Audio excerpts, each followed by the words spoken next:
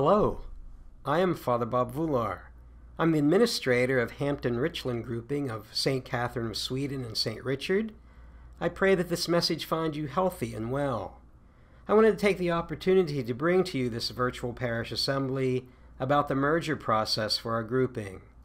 The purpose of this virtual parish assembly is to ensure that all parishioners understand what is happening, why it is happening, how it will happen, and what will happen next regarding the merger.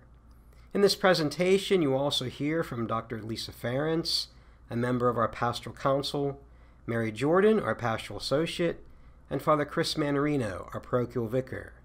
And so let's begin, as we should always begin, with prayer. In the name of the Father, and of the Son, and of the Holy Spirit. Father of mercy, during this time of transition, help us to grow in unity as the combined parishes of St. Catherine of Sweden and St. Richard. Grant us the wisdom and willingness to understand how our parishes will become stronger and more vibrant in fulfilling the mission of the Church. Assist us in opening our arms to welcome others as we continue to journey on mission for the Church alive. Help us, O Lord, to trust in the future you have planned for us. This we ask through Christ our Lord. Amen. In the name of the Father, and of the Son, and of the Holy Spirit. Amen. For more than five years now, our diocese and our parish community has been on a journey of transformation. Transformation takes time, it takes patience and kindness. The process is not always smooth or easy. It requires many hands and countless hours of prayerful work. And in order to succeed, transformation must be rooted in faith.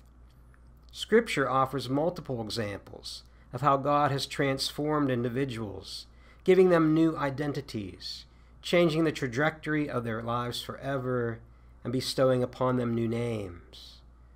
God made a covenant with Abram and renamed him Abraham, the father of many nations.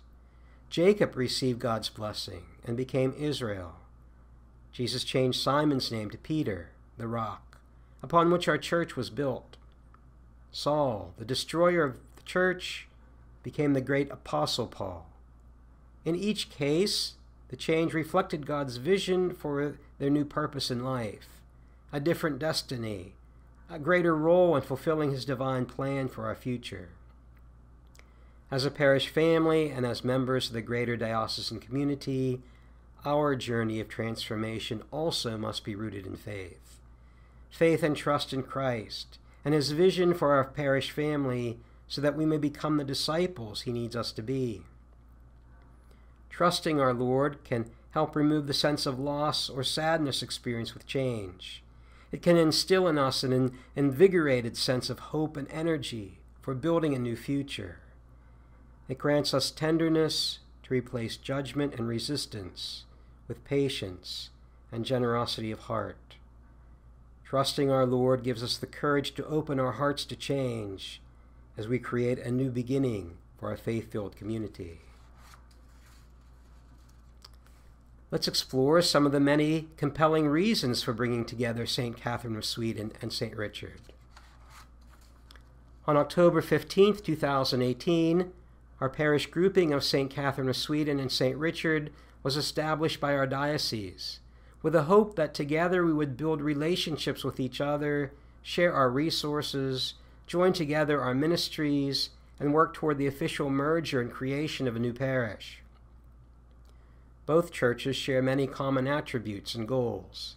Guided by the Holy Spirit, we strive to strengthen our parish families through spiritual devotion, faith formation, celebration of the sacraments, and faithful service to meet the needs of communities near and far.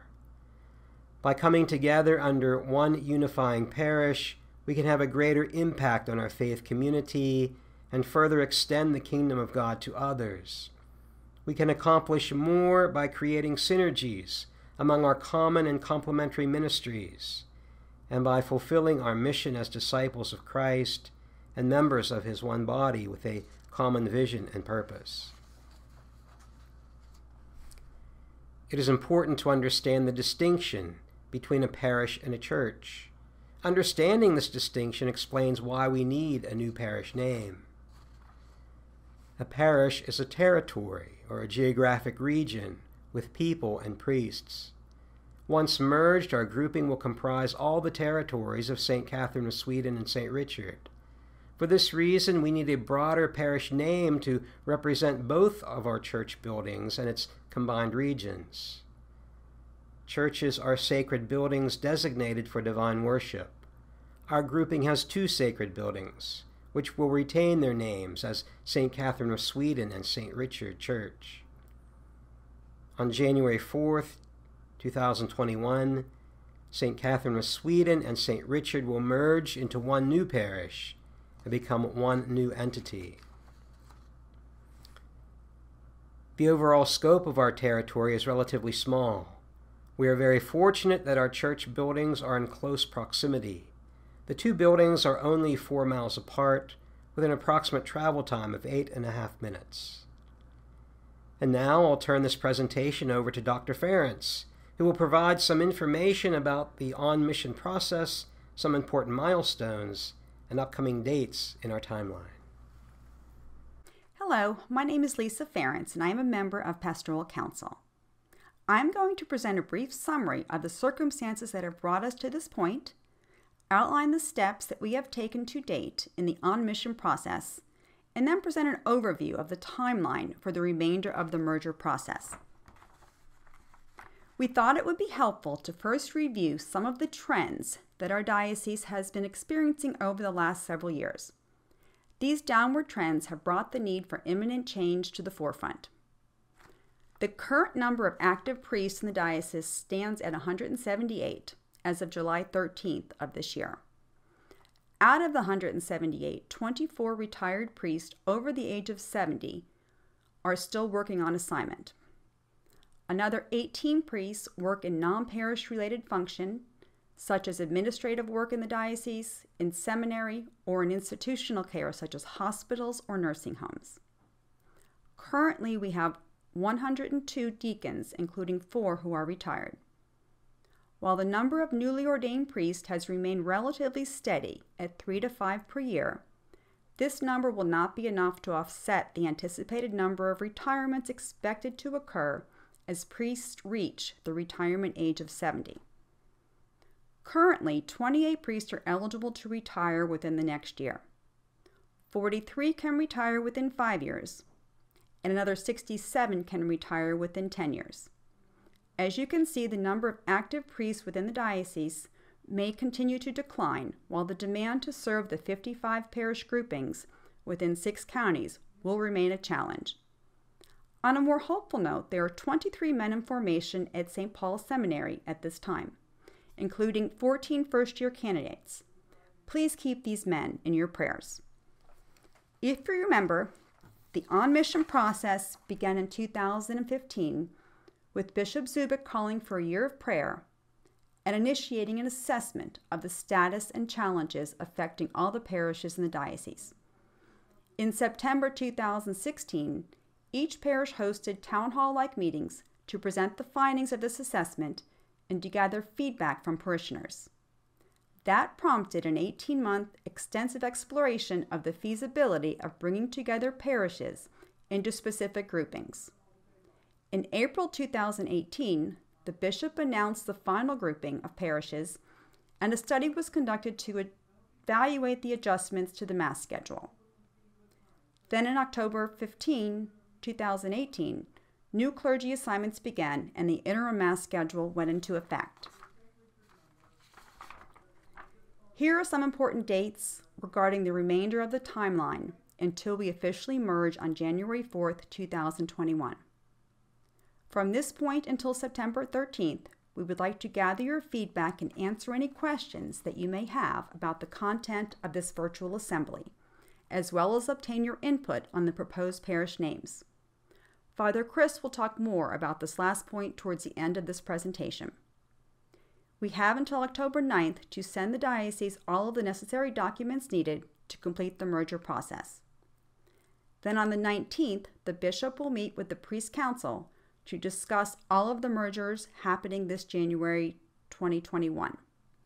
Bishop Zubik will announce and issue the decree for our new parish at the end of November 2020.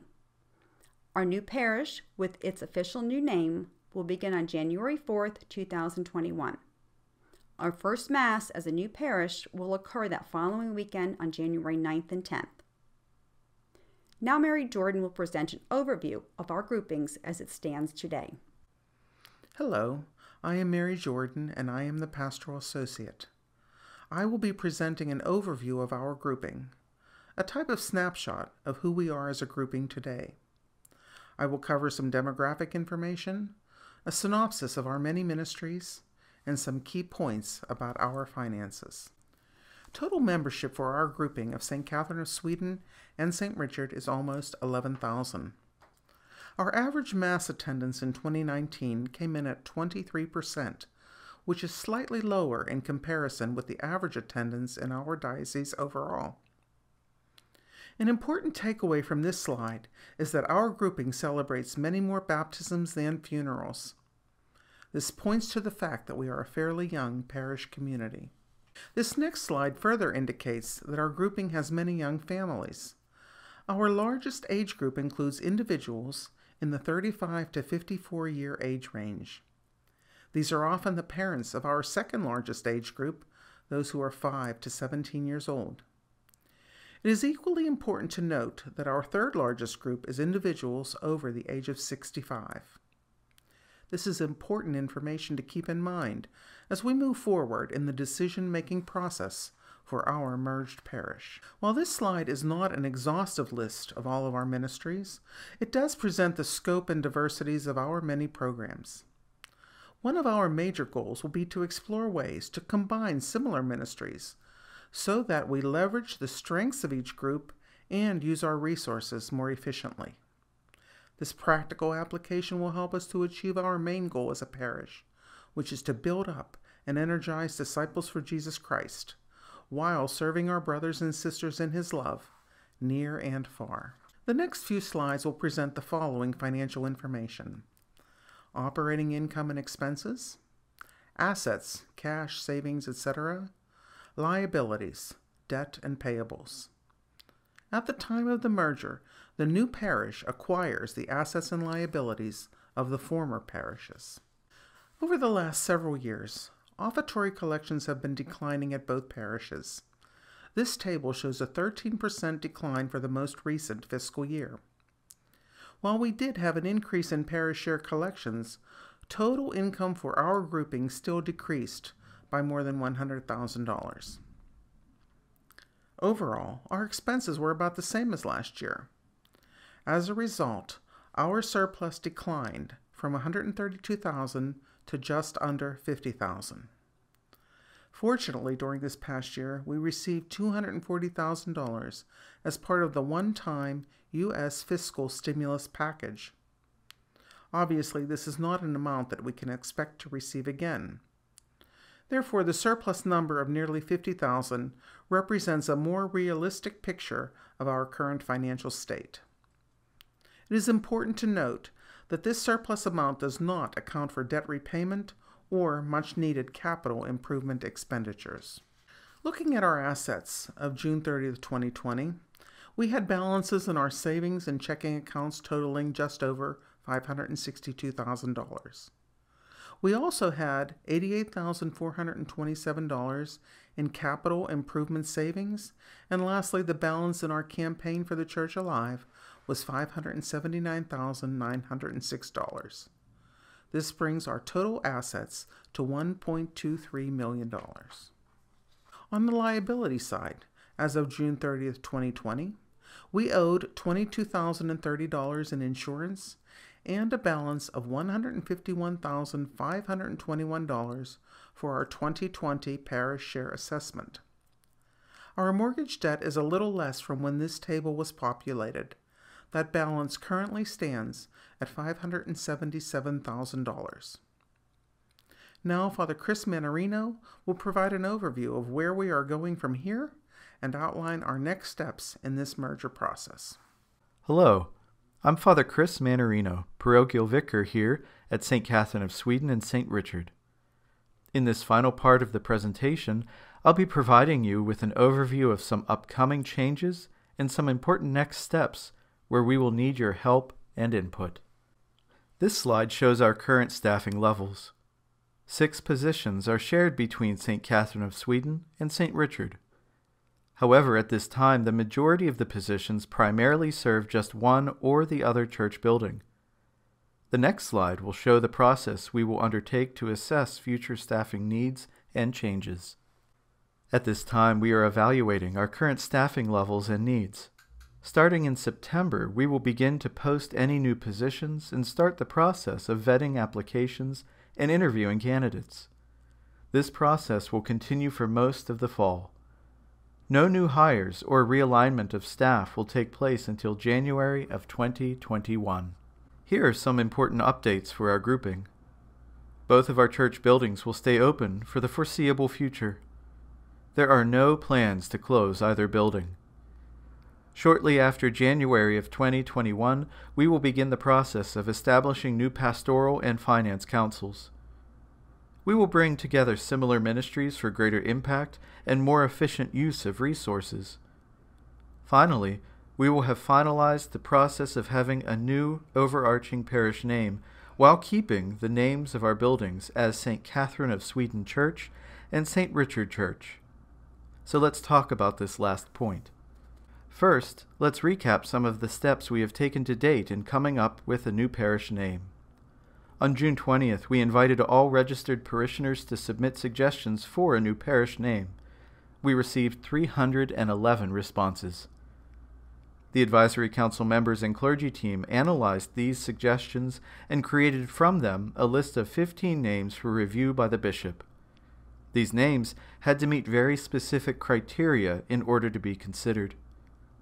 Bishop Zubik has approved 13 possible names.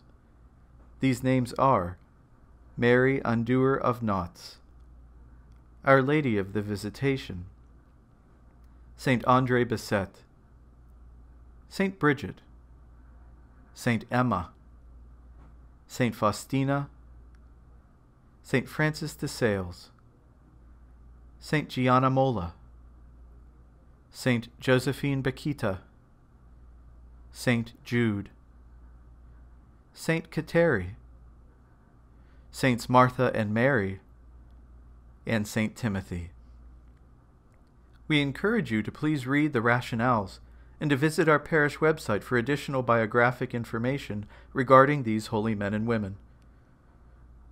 We now need to reduce this list of 13 names to five for final consideration by the bishop. And here's where we need your help. Now that you have had a chance to view this virtual assembly, we would greatly appreciate hearing from you.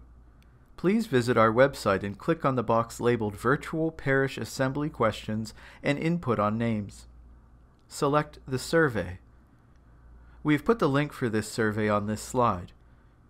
Share with us your thoughts and any questions that you may have about the information presented in this assembly. We also need your input on the possible parish names. We will be responding to your questions in the bulletin and on our webpage, and we will use your input to reduce the number of proposed parish names to five. These five names will be sent to the bishop for final consideration. The deadline for the survey is September 13th. We remain deeply grateful to you for your involvement and commitment in strengthening our faith filled community and bringing together our parish families.